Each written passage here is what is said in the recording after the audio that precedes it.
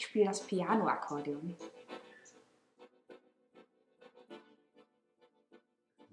Das erste Mal findet man das Wort Akkordeon in einem Patent aus dem Jahr 1829 von dem Instrumentenbauer Demian aus Wien.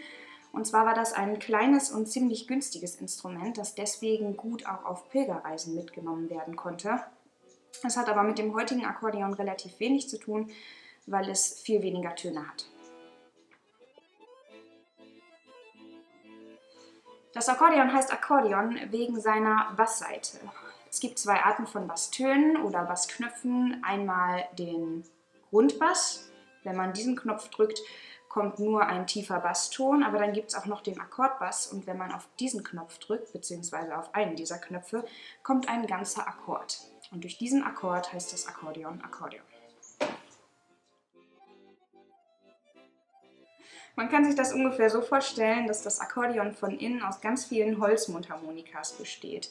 Diese sogenannten Stimmstücke besitzen kleine Stimmzungen, die, wenn sie mit Luft in Berührung kommen, in Schwingung gesetzt werden und dadurch entsteht ein Ton. Wenn ich also bei meinem Akkordeon eine Taste oder einen Knopf drücke, öffne ich so eine Klappe. Wenn ich dann noch am Balg ziehe oder drücke, dann kommt Luft in das Akkordeon und bringt die Zunge ins Schwingen. Bei dem Akkordeon ist es so, dass zwei Stimmzungen gleichzeitig in Schwingung gesetzt werden. Die eine Stimmzunge davon ist ein bisschen höher gestimmt als die andere und deswegen kommt da dieser typische schwingende Akkordeon-Sound.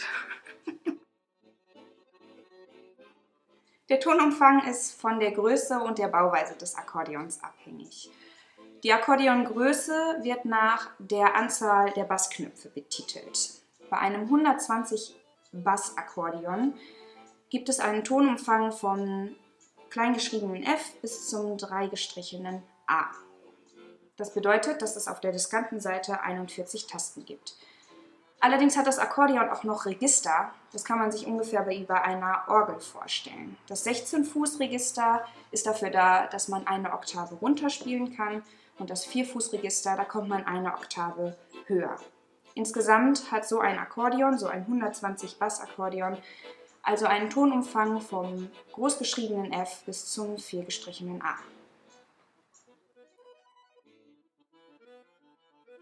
Die linke Hand wird im Bassschlüssel notiert und die rechte im Violinschlüssel.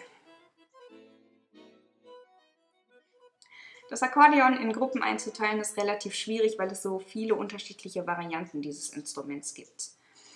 Grob gesagt kann man das aber unterscheiden in wechseltönige und gleichtönige Instrumente.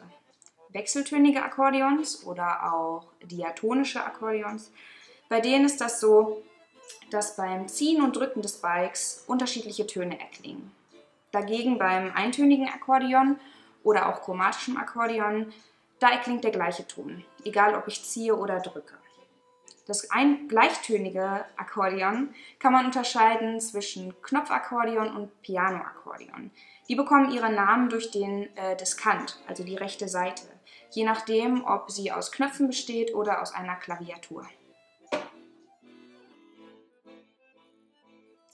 Wenn man mal so ein bisschen Lust hat zu träumen oder ein bisschen in andere Welten zu verschwinden. Da kann ich das Lied Flight von dem London Accordion Orchestra empfehlen. Außerdem einer meiner Lieblinge ist ein etwas konzertanteres Stück Tetraeder von Hans-Günter Kölz. Aber ich finde, wenn man sich dem Akkordeon nähert, dann sollte man sich auch mit dem Tango beschäftigen. Und ein unter Akkordeonspielern, aber auch darüber hinaus sehr bekanntes Stück ist der Lieber Tango von Piazzolla. Nach der Grundschule bin ich auf die Realschule gewechselt und zwar auf die Erich-Klausener-Schule hier in Herten. Und bei der ist das so, dass jedes Kind ein Instrument lernen muss. Eine Freundin von mir ist bereits auf diese Schule gegangen und hat Saxophon gespielt. Ich wusste zwar nicht genau welches, aber ich wusste, dass ich auch Saxophon spielen wollte. Und bei uns kleinen Pupsis war nur die Wahl zwischen Alt- und Tenorsaxophon. Und weil ich schon immer tiefe Instrumente sehr gerne mag, habe ich mich damals fürs Tenorsaxophon entschieden. Also komischerweise kam bei mir in, letzter, in den letzten Tagen immer wieder die Trompete auf. Ich weiß auch nicht, woher diese Gedanken kommen, weil eigentlich stehe ich ja eher auf äh, im Vergleich dazu etwas größere Instrumente, aber bei mir ist es halt auch so, wenn ich ein Instrument sehe und nicht weiß, was ich damit anfangen soll, da kribbelt es mir schon ein bisschen in den Finger und das ist bei Trompete halt auch so. Ich weiß auch nicht. Man soll ja alles schon mal ausprobiert haben.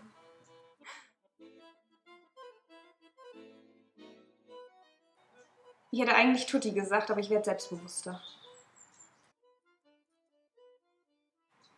Ah, Moll. Polka.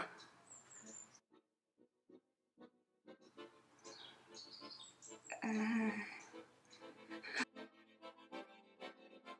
Oh, Socken.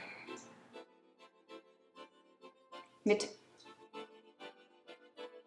Ei. War es zu schnell? Big Band. Oh, das ist gemein. oh, Tina. Oh, ich glaube Tina. Radtour.